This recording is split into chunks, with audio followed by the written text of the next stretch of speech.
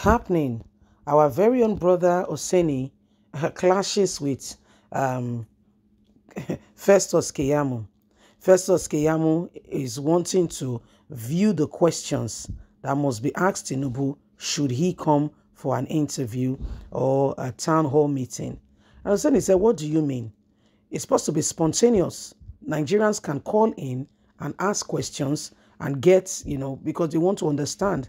If you say you want to lead them, they want to know what you would do regarding the problem that are on ground, what you intend to do to better the nation. So the era of soft conversation is over. We cannot vote blindly because we all know the truth. Yes, we, yet we take position that are that are really unnecessary and you know that have not you know deemed us well as a people.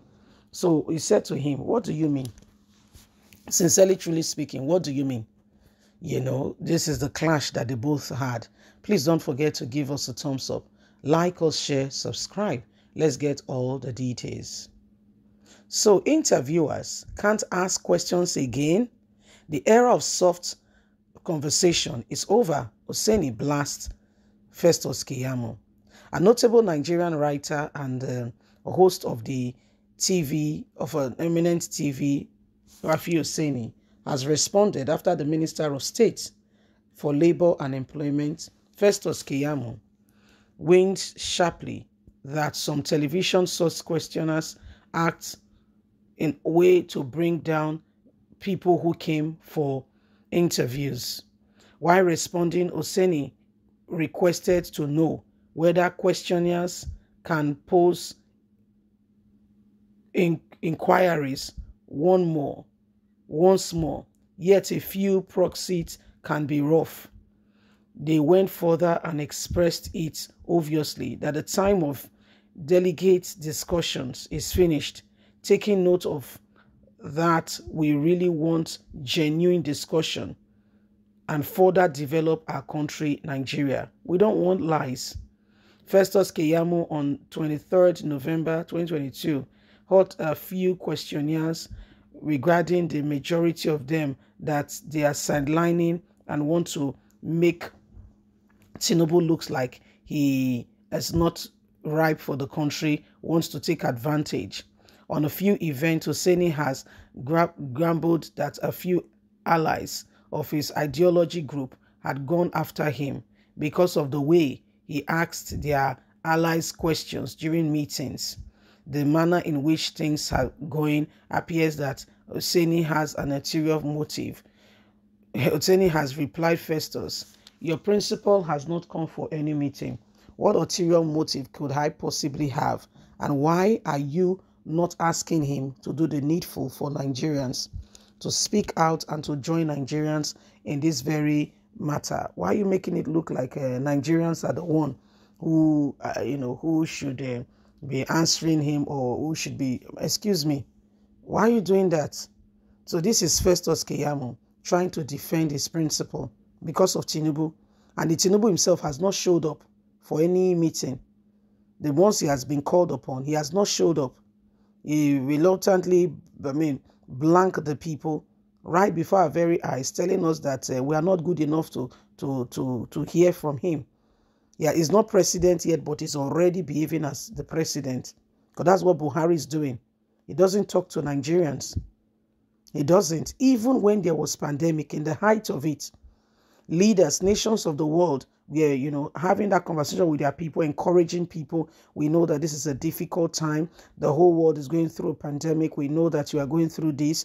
Even then, Prime Minister of Great Britain himself caught the virus and he was, you know, in an intensive care unit. He was still there. He was addressing the people from that point, from that very place. He did not say the people did not deserve to hear from him. Even in that very despair, he was still addressing and was still speaking to the people. You know, it was in uh, what's it called, London Hospital, and yet he was still having that conversation with Nigerians that uh, with uh, with uh, Brits that yes, you know, this is going on, this is this is happening. You know, we know, and uh, we need together. You know, raising the hope of the people, even though he cannot possibly do anything tangible at that point in time, but he kept raising the hope of the people. Now comes to come to the other side of the island. They said, well, Buhari addressed the people.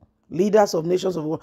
First, first of all, we got a message from um, Garuba Shehu. You cannot tell Buhari when to talk to you. Buhari must not talk to Nigerians. That was the first point of call. That he cannot tell Buhari when to talk to Nigerians. That he cannot. He cannot tell Buhari. He would talk to My dear, every other people we encourage, that's the leader we have. Oh. Funny enough, we put him there. Oh dear, we did. We did with our own hands. 2015, some people warned and said, What I see, I see danger. I was saying, day, what? What what did you say? Day, there's no day. No, no, no. We we died here. There we there we there. There we there. you understand? Yeah, you understand me now? There we there. What am I saying? You know, I might be making a bit of fun here, but I'm true. I'm truly like really passing out a message that is not a time to gamble with our choice of who becomes Nigerian's president. Whatever happens going forward, we will have to live with it. And so we cannot be unserious in order for us to get the best of leadership. We cannot we cannot be unserious. We cannot be unserious. We just can't be unserious. We just have to be honest, ready, sincere. Okay? We just have to be that. And telling ourselves that it is time to advance move forward and ensure that nothing hold us down. Nothing, like nothing, like nothing. So it is the dawn of a new day. If anything is going to change, it has to start from you and I. We all will have to ensure that change become, you know, our watchword, and we're not, uh, we're not, we're not mind, we're big on it. We're not, we're not minding on it. We're going big on it. Okay, we're going very big on it. So it, it is a serious point of call, a serious one. And Nigerians, you can all see for yourself. These are people who tell you they want to lead you. Have you really thought about it? What are they leading? And why do they want to lead? Is it because they want to add another feather to their cap? Okay, and make it look like, yeah, we've added another one, another one, and another bag, we've bagged it up. Is that what they want to do? Or seriously, because they are passionate they can see, you know, the, the issues going on in the country and they've made up their minds to contribute and to bring their own quota because they feel that they've got a solution mandate on, their, on, the, on them and they want to, you know, ensure that at the end of the day, we are all, you know, rising up on the same area. So these are things we cannot afford to be here and there about. Leave us a comment. God bless you. Don't forget to like us, share, subscribe. Bye for now. Bye bye.